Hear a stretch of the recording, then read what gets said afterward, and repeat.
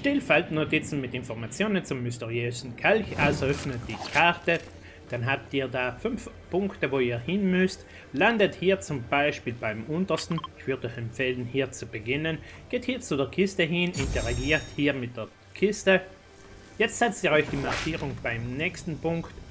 Geht dann hin,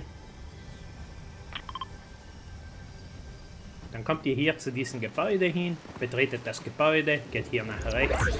Hier könnt ihr wieder mit der Kiste interagieren. Den nächsten Punkt seht ihr, findet ihr auch hier direkt ums Eck.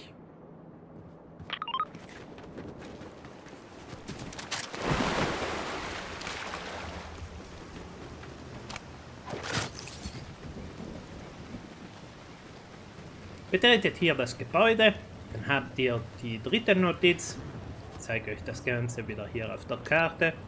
Interagiert hier auch wieder mit der Kiste. Wie ihr seht, habt ihr die Notiz 4 auch hier. Geht jetzt hier raus. Klettert hier über den Zaun.